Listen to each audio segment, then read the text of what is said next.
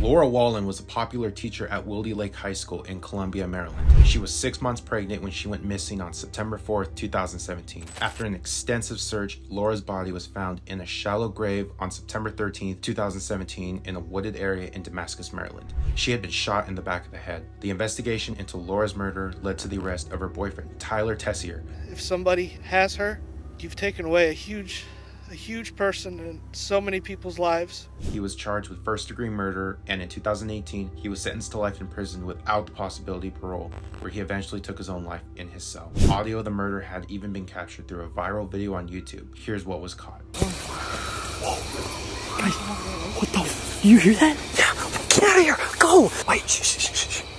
Listen.